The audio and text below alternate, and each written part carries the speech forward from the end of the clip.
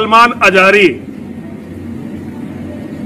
अभी उसने एक दिन मुझे चुनौती दी कि आ, आग में चलते हैं, तू अपनी किताब लेकर चल, मैं कुरान गंदी सी जो कुरान है उनकी, उसे लेकर चलूँगा, जिसने सारी दुनिया में ये बवाल मचा रखा है। मैंने कहा, मुझे धर्म ग्रंथों की ज़रूरत ही नहीं है। मेरे तो माँ और महादेव मेरे दिल में रहते हैं। मैं तो उनका नाम लेकर तेरे साथ चलूँगा, चल। अब जब उसने मेरी वीडियो सुनी तो उसका लिटरली पिसाब निकल गया।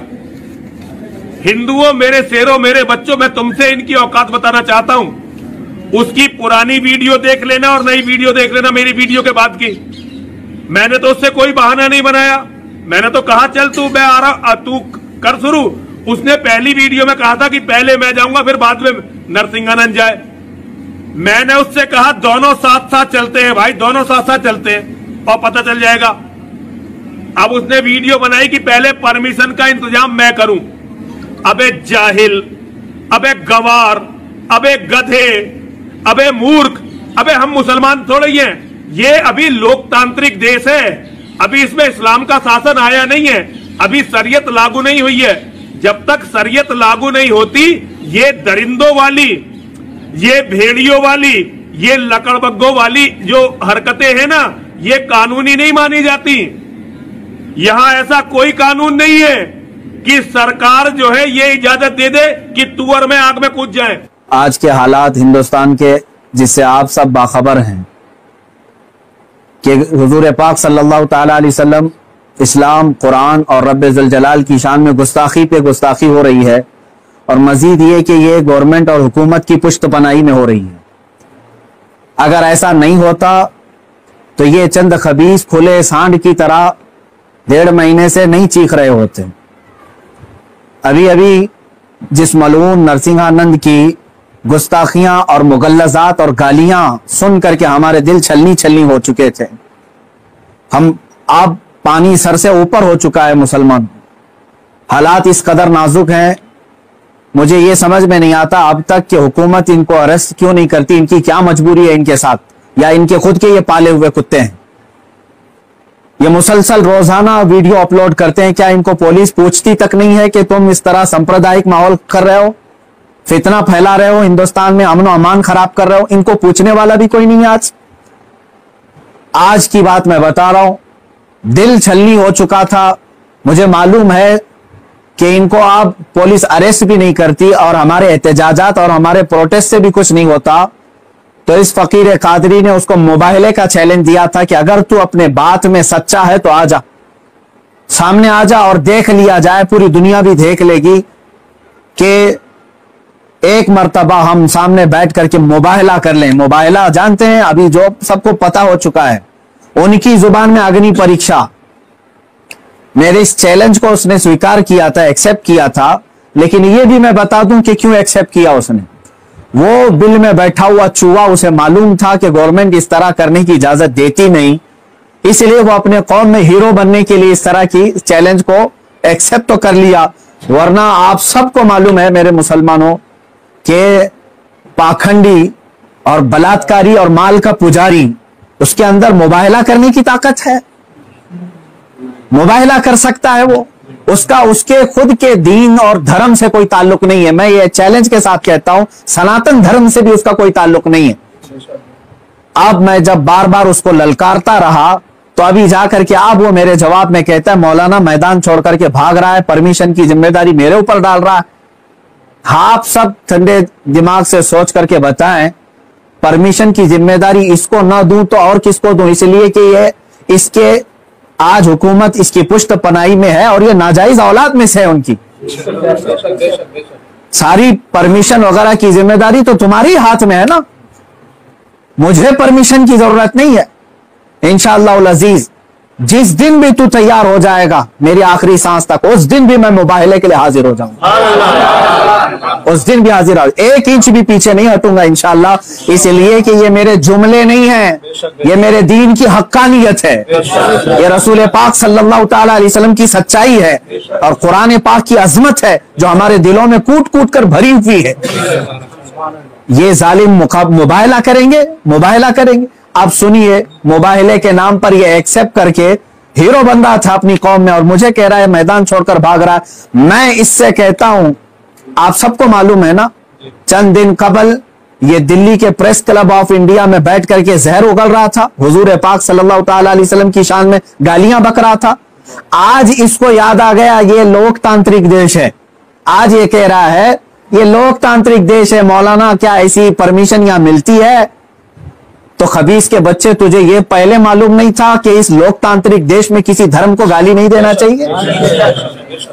मलून नाजायज औलाद तुझे ये नहीं मालूम कि लोकतांत्रिक देश में किसी धर्म को गाली नहीं दी जाती। जब तू देश के सारे संविधान का उल्लंघन करके जहर उगल सकता है, प्रेस क्लब ऑफ़ इंडिया में तुझे परमिशन दी जा सकती है तो इस मुबाहले की परमिशन क्यों नहीं मिलती? ठीक है, तुझे मैदान में नहीं मिलती। प्रेस क्लब ऑफ़ इंडिया तेरे बाप का है ना, जहाँ बैठ करके तूने गालियाँ बकी थी। मैं आज फिर से कहता हूँ मुसलमानों जरा बराबर भी अपने दिल में हल्कापन महसूस नहीं करना। मैंने ये अपने घर की बात नहीं कही थी। 1400 साल से इस धर, इस धरती पर जमे हुए इस्लाम की बात कही है। और इससे बड़े और इससे सड़े भी आए इस्लाम का कुछ नहीं बिगाड़ सकते। मेरे आका सल्लल्लाहु अलैहि वसल्लम की जात पर अगर थूकता है तो ये सूरज पर थूकने के मानिंद है। इसका मुँह अभी चंद दिन बाद देखना। इतना काला हो जाएगा कि इसके खुद चेले इससे नफरत करेंगे। हाँ मेरा अकीदा मेरे रसूल पाक के लिए ये है, या रसूल अल्लाह तू घटाए से किसी के ना घटा है, ना घटे। या रसूल अल्लाह या रसूल अल्लाह तू घटाए से किसी के ना घटा है, ना घटेगा। जब बढ़ाए तुझे अल्लाह ताला तेरा। मिट गए, मिटते हैं, मिट जाएँगे आधा तेरे। ना मिटा है, ना मिटेगा कभी चर्चा तेरा।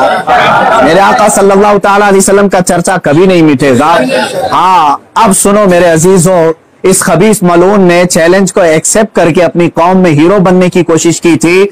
मैं फिर से कहता हूँ, ज़िंदगी गुजर जाएगी, इसका पेशाब निकल जाएगा, मुबाहिले के लिए नहीं आ सकता। मुबाहिला बहुत दूर की बात है। मुबाहिला बहुत दूर की बात है। मैं गवर्नमेंट से भी कहता हूँ प्रशासन से भी कहता हूँ यह बार बार भोंक रहा है और कह रहा है कि मुझे इस्लाम की सच्चाई बताना है मुझे कुरान की सच्चाई बताना है। इसको एक बार बताने का मौका दे दिया जाए। इसको एक बार मौका दे दो हमारे सामने कि ये इस्लाम की सच्चाई बता दे।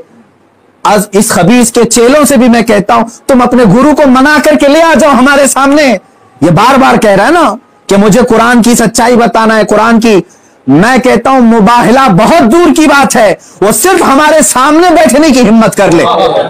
जिस दिन वो सामने बैठे और इस्लाम की सच्चाई बताने की बात करता है, कसम रब्बेजुल जलाल की, कसम रब्बेजुल जलाल की, जितनी बातें उसने मेरे नबी की शान में कही है, एक बात वो साबित कर दे, उसी दिन मैं अपनी गर्दन देकर के आ जाऊँगा मैं वहीं पर अपनी गर्दन देकर के आ जाऊँगा। ये सारे उसके चेलों से भी कहता हूँ, तुम जुमलेबाजी कर रहे हो। और इस चैलेंज के बाद अब सोशल मीडिया में बरसात के मेंढक की तरह बहुत सारे आ गए। मौलाना का चैलेंज हमको भी एक्सेप्ट है, हमको भी एक्सेप्ट है। तुम क्या समझ रहे हो? गुडी गुडे का खेल खेलने जा रहे हैं ये कोई खेल खेलने जा रहे तारीख पढ़ लेना। पता चलेगा तुम्हें मुबाहला कहते किसे अजीजा ने गिरामी वकार, आज दिल जल रहा है, इसलिए मैं अर्ज़ कर रहा हूँ। ये मुकाबले में नहीं आएँगे। फिर भी मैं कहता हूँ, ये सत्रह रमज़ान मुबारक, तीस अप्रैल आने तक ये जितने चेले भोंक रहे हैं, इसमें एक रामपाल का एक शिष्य है, कोई शागिर्द आया है, वो कहता है, मोहम्मद आखिरी नबी भी नहीं है। ए मुसलमानों, इसमें खत्म नबूवत पर भी डाका डाला। वो कहता है, रामपाल आखिरी नबी थे, मैं साबित करता हूँ और चुनौती को स्वीकार करता हूँ। ये सारे पाखंडी एक साथ आ जाएँ, एक साथ आ जाएँ। और गवर्नमेंट से फिर मैं कहता हूँ, अब ये बात बहुत बढ़ चुकी है। मीडिया वाले भी मज़ाक ना समझें। इनको साबित करने का मौका दें और हम हानि के लिए तैयार हैं। मैं एक नहीं, हिंदुस्तान की ग्यारह बड़ी खानकाएँ मेरे साथ खड़ी और तकरीबन सौ ओलमाए अहले सुन्नत और मुफ्तिया ने इजाम। अभी इसी वक्त दिल्ली आने के लिए तैयार। मेरे अजीजों, ये कोई खेल की बात नहीं कर रहा हूँ। अल्हम्दुलिल्लाह सौ तो मैं अपने लिस्ट में रखा हो। हज़ारों की तादाद में यहाँ पर अपनी जान लुटाने के लिए तैयार। ए मुसलमानों, अब पानी सर से ऊपर हो चुका है। अब ये 30 अप्रैल और 17 रमज़ान मुबारक की तारीख। मैंने ऐलान तो किया और ये बार बार इसको हल्के में लेकर मज़ाक उड़ाते आज भी ये कहता है, कुरान को गुंडों की किताब, कुरान कहता है वायरस है, कुरान को कहता है गंदी किताब। कहाँ मर गया तुम्हारा ज़मीन? कहाँ मर गया? मुसलमानों, में अब आपसे कहता हूँ, इस तारीख को मेरे तीन ही ऐलान होंगे। मुझे पहुँचने दिया जाए। मुझे पहुँचने दिया जाए। उससे पहले अगर गवर्नमेंट या इनके कोई भी दबाव में आकर के अरेस्ट करते हैं, उसी दिन समझ जाना है मुसलमानों, इस्लाम की फतह हो चुकी है। समझ जाना।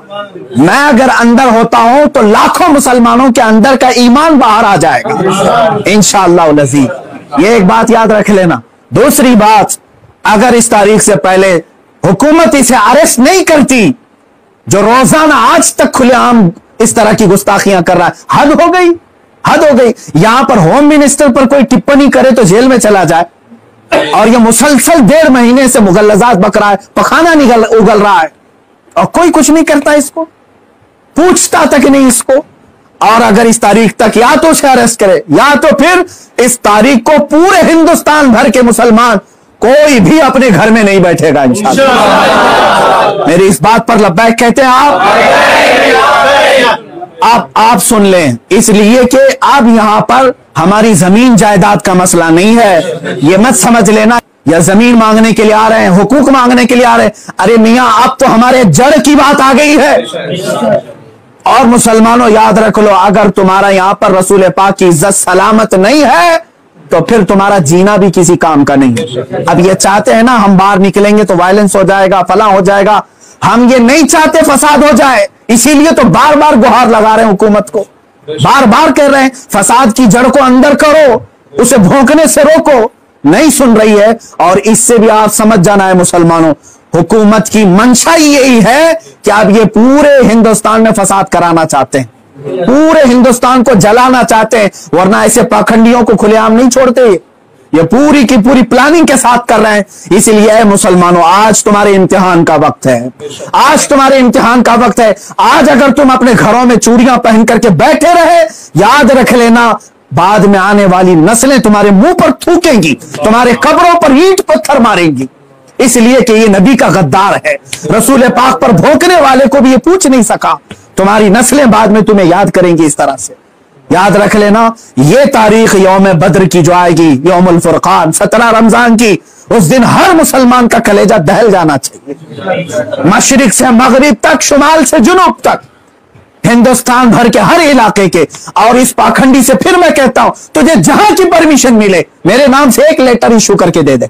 मेरे नाम से एक लेटर इशू करके दे दे कि ये मुफ्ती सलमान अजहरी आ सकता है, मेरे साथ मुबाहला बहुत दूर की बात डिबेट कर सकता है। इतना तू ऐलान करके दे दे, फिर मैं पूरी दुनिया को बता दूँगा कि तेरा पाखंड क्या है। मेरे अजीजों आप, मैं हिंदुओं से भी कहता हूँ, ये हिंदुओं को बदनाम करने के लिए निकला हुआ है, ये माल का पुजारी है, राजनीति खेलने के लिए ये मेरे नबी को इस्तेमाल कर रहा है। राजनीति के लिए इस्लाम को इस्तेमाल कर रहा है। हद हो गई मेरे अजीजों मैं हुकूमत से कहता हूँ, अगर तुम्हें दुश्मनी है ना मुसलमानों से, लो हम सब की जाने और मार डालो। हमारे नबी पर ना भोको। इस्लाम के खिलाफ आवाज़ ना उठाओ। इतनी गलीज बातें, वो बक गया। मुझे बताओ, पूरे हिंदुस्तान के मुसलमानों ने कभी हिंदुओं के देवी देवताओं को छेड़ा आज तक? मुझसे सुना आपने कि हम गालियाँ दे रहे हैं उनके देवी देवताओं को? यह हमारी तहजीब है जो हमें इस्लाम सिखाता है। यह हमारे अखलाक है जो हमें इस्लाम सिखाता है। इसका जहर देख करके पता चलता है कि इसका कोई दीन और धर्म नहीं है। धर्म में रहने वाला ऐसी जहर नहीं उगलता। बहरहाल, ये मेरी अभी गुजारिश है मुसलमानों से। या तो फिर ये मुबाहले के लिए तैयार हो जाए, जो इसके लिए जहाँ जगह हो, मेरे नाम से लेटर इश्यू करे। और हुकूमत, प्रशासन, मीडिया, इसको हल्के में ना ले, इसको इजाज़त दे दे, ये दिखाना चाहता है। ये साबित करना चाहता है, इस्लाम को झूठा, कुरान को झूठा साबित करना, उसको साबित करने दे दिया जाए। अगर वो साबित किया और अगर नहीं साबित कर सका तो फिर याद रख लेना, सुबह कयामत तक तुम्हें पहचाना जाएगा। सुबह कयामत तक तुम्हें पहचाना जाएगा। अजीजा ने ग्राम वखार ये मोबाइले की बात चलती रहेगी और मेरी ये चुनौती बरकरार रहेगी। वो कहता है, मैदान छोड़ करके भाग रहा है। तू क्या समझता है कि तेरे जैसे पाखंडी हैं यहाँ पर? अल्हम्दुलिल्लाह हम हुसैनी हैं। अगरचे आल में ना हो लेकिन हुसैनी किरदार हमने बचपन से सुना है। अरे हमारी माओ ने हमें गोद में हुसैन आज़म के करबला की दास्तानें सुनाई। हम मात नहीं खा सकते, सर कटा सकते, लेकिन सर झुका नहीं सकते। लजीज ए मुसलमानों, अपने जज्बों को बेदार रखो। कोई ये कहता है अगर कि ये जज्बात को भड़का रहे हैं, उससे सिर्फ़ ये कह देना, जज्बात का नाम ही ज़िंदगी है। अब अगर नबी के नाम पर जज्बात नहीं बेदार हुए तो इससे बेहतर है कि तुम मर जाओ, सो जाओ। आप याद रख लेना, ये हुकूमत से भी मेरी गुजारिश है, अपील है। तुम वैसे भी मारना चाहते हो ना? हम आ जाते हैं। बाहर घुट घुट करके मरने से बेहतर है कि हम नामे मुस्तफ़ा पर निकल करके मौत का मौत को कबूल करने को हम तैयार हैं। यूँ भी तो किसी दिन हमको दुनिया से तो जाना। अल्लाह के हबीब सल्लल्लाहु अलैहि वसल्लम की इज़्ज़त का परचम बुलंद करके जाएँगे इंशाअल्लाह। सारी खानकाहें, सारे ओलमा सारे मदारी, सारी तहरीकें, सारी तंजीमें सबसे मैं बड़े अदब से गुजारिश करता हूँ। अब वक्त किसी के घर का नहीं, किसी की सज्जादगी का नहीं, किसी की प्रॉपर्टी का नहीं, बल्कि तुम्हारे जाने ईमान का सवाल आ चुका है।